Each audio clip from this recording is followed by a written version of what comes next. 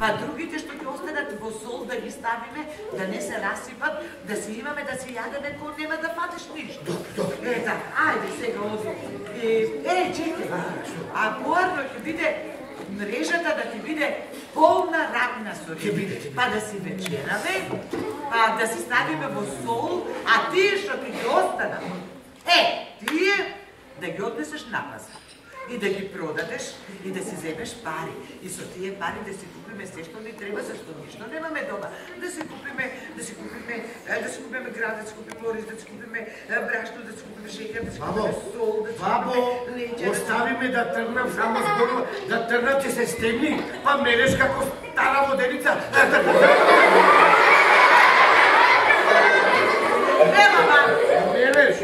Слушај, ако ме научиш, сонела ми те. Ој ми, ако не ја земеш мрежата и да отидеш на морскиот брег. Еве одам, ставија тавата. Слушај, дедо, немој без ни една ритка да се вратиш. Не, не, не, не. Ајде, оди, оди. Оти знаеш колку се лута без ни една ритка кога се знаеш. Да, мој бабо, ајде, оставиме.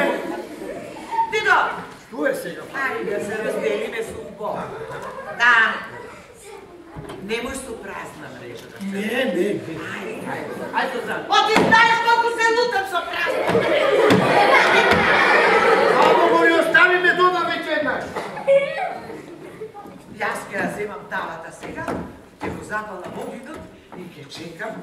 Ако донесе е, полна мрежа, пълна рана. Една рибка нека донесе. Морам да испршам да вечераме. Немаме што да јадем. Додам да запалам огид и да го чекам.